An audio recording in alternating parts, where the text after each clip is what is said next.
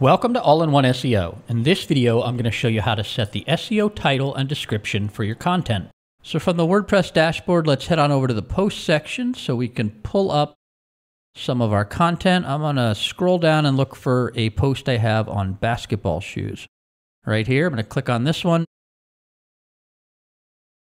And then if we scroll on down past the content to the All-in-One SEO settings section, we can see a snippet preview, which is a preview of what our listing will look like in the search results. And then below that, we see the post title section and the meta description section. So for post title, for this piece of content about red and black basketball shoes, I am using the post title, the separator, and the site title. And if we look at the snippet, it's saying men's basketball shoes red and black. That's the post title. The separator is this vertical line here, and then the site title in this case is demo site. So it's doing exactly what I wanted. And we could also add emoji here, so I can go ahead and put in a check mark. You see what that looks like, just makes the listing pop a little bit more in the search results. And if you click view all tags here, you get a list of all the different smart tags that you can use to construct your post title.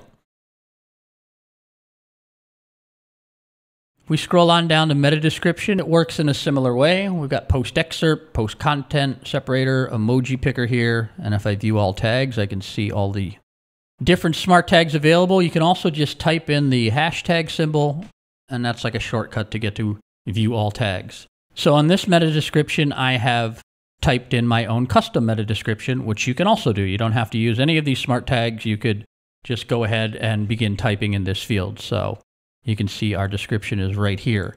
One thing to keep in mind, if you use post excerpt, but you haven't actually written a post excerpt, it's going to kind of grab all the content from the page. So it's grabbing all of this text here, and then even this text below the shoes here where it says back of shoes and red and black men's basketball shoes.